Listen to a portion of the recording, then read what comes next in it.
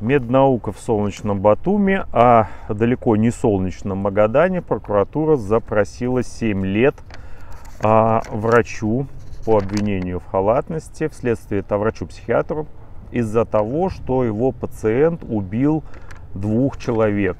Плохо врач наблюдал за своим пациентом, и вот этот вот товарищ, который нам совсем не товарищ, убил двух человек. Более того, в 2006 году э, он также был э, сначала осужден за убийство, потом признан невменяемым, ну и, соответственно, э, тюремный срок был ему заменен принудительным лечением. Э, с одной стороны, э, вроде бы логично, да, то есть врач, психиатр должен был лечить буйного психа, ну и вовремя заметить, что лечение не удается, и надо скорее его назад в больницу упрятать.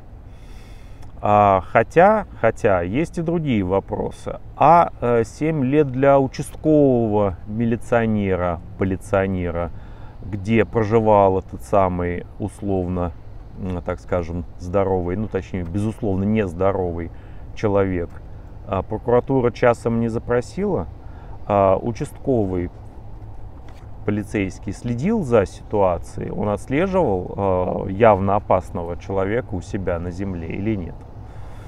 А, опять-таки, врач просто игнорировал свои обязанности по лечению пациента, либо пациент просто не являлся а, на осмотры, врач писал бумажки, полиция на них традиционно не всегда реагировала или вообще не реагировала. Ну и, собственно, какие были ожидания, что однажды совершивший двойное убийство человек, повторно совершивший двойное убийство человек – не пойдет на убийство в третий раз э, в результате амбулаторной терапии. Ну, господа, это весьма и весьма наивно так полагать. Очевидно, что человек имеет стойкую тенденцию к агрессивному поведению, э, и если он уж был признан э, судом невменяемым, то, очевидно, надо было рассматривать возможность его выписки с принудительного лечения на амбулаторную терапию.